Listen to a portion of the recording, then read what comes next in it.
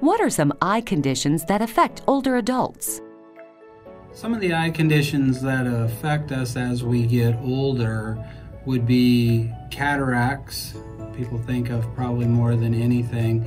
Macular degeneration is another. It used to be called age-related macular degeneration, so it's something that as we get older we do get more of. And then I'd say the other main one is just not being able to see clearly up close. We call that presbyopia.